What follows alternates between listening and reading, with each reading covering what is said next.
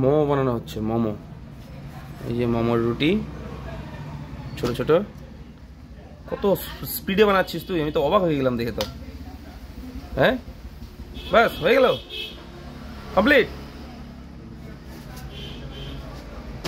বাহ। Next wow wow complete এটা chicken chicken momo তো? চিকেন মোমো। বাহ। ডিজাইনটা দেখাই তো একটু। কেমন বানাচ্ছি ডিজাইনটা আমার সুন্দর ডিজাইন।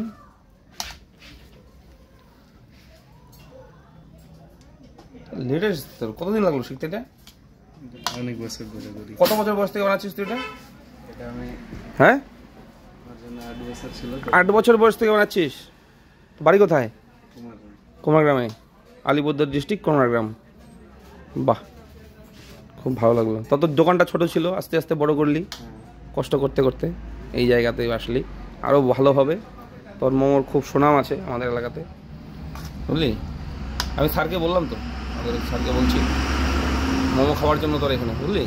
কালকেই বলছি আমি। ঠিক আছে।